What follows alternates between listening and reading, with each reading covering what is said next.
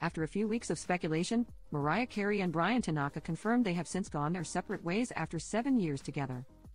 Dear friends and fans, with mixed emotions, I share this personal update regarding my amicable separation from Mariah Carey after seven extraordinary years together. Our decision to embark on different paths is mutual, and as we navigate these separate journeys, we do so with profound respect and an overwhelming sense of gratitude for the invaluable time we've shared. The memories we've created and the artistic collaborations are etched in my heart forever, the dancer, 40, wrote via his Instagram page on Tuesday, December 26. Mariah's dedication to her family and her commitment to her craft have inspired us during our shared journey.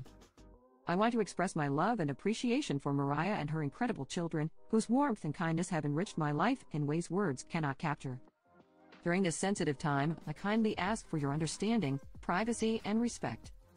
The outpouring of love and support from fans has been a beacon of strength, and I am extremely grateful for the encouragement that continues to uplift me. I eagerly anticipate continuing my journey, knowing my passion for inspiration, dance, and the creative arts will resonate in the unfolding chapters. With hashtag much love and gratitude, Bryan Tanaka, the message continued. Of course, people had mixed reactions to the news. One person wrote, Much love and respect. While another said, Oh, my heart trembled, wishing you both the best on your journey, and your kind words expressed shows just what a jewel you are. God bless you always. You're an amazing person, and you have touched all these lives that love you so much. A third person added, Oh no, take care, Bryan Tanaka, I wish only love for you.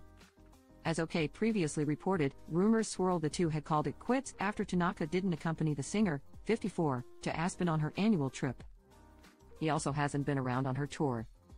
The mom of two also hinted she was heartbroken in a recent interview. I've been looking forward to this Christmas for, like, the whole year. Since last year, because last year wasn't the greatest, she told people. I'm thankful for them all, but it wasn't my most fun version of Christmas ever. Meanwhile, another insider claimed Tanaka wants to have a family, but that's not where she is at. In the meantime, Carey has been keeping busy, as she spent the holiday with her two kiddos, Monroe and Moroccan. Merry Christmas. XOXO Santa and Mimi, she posted some photos of herself with Santa and her children.